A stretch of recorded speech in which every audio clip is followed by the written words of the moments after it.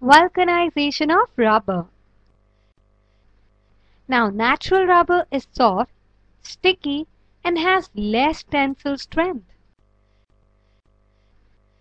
Now to make the natural rubber more strong, tough and elastic, it is vulcanized.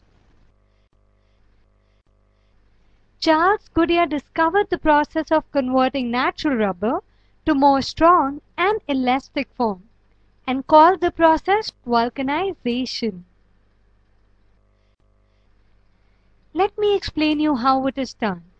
Natural rubber is mixed with 3 to 5% sulfur and is heated at 100 to 150 degrees Celsius. It forms cross-linking of cis-1 4-polyisoprene chains through disulfide bonds SS. Wide range of physical properties of rubber can be obtained by controlling the amount of sulfur in the process of vulcanization. Rubber made with 20 to 30% sulfur is hard.